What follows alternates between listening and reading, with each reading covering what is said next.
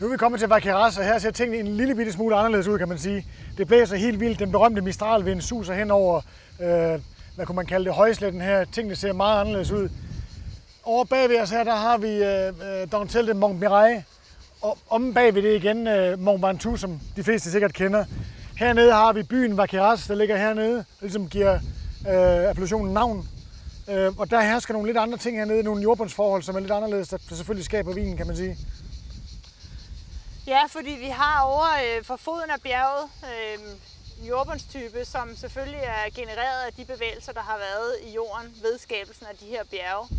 Øh, længere mod, hen mod Vacaras har vi øh, Garrigen, og til sidst ret interessant en mere øh, sandet jordbund.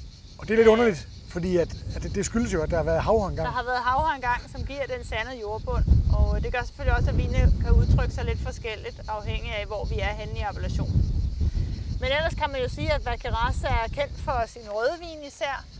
Øhm, Grenache, som vi ser rigtig meget hernede i Rundalen, i den sydlige del især, bliver blandet med øh, Syrah og Mourvedre og kan give nogle virkelig flotte vin.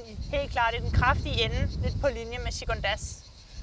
Og Vaqueras var jo før i tiden en øh, Côte Village, havde status som Côte Village, men fik altså i 1990 selvstændig krydsstatus, kan man sige, på linje med Chateau du Pape, Gigondas, og der kom flere til senere.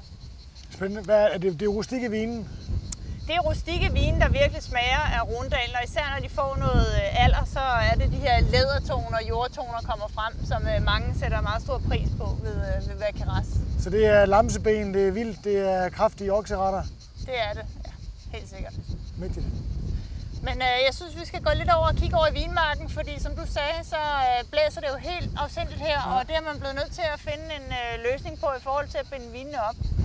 Altså, øh, hvis vi... Man kan sige, at det ser i hvert fald helt anderledes, end dem vi har set ja. tidligere.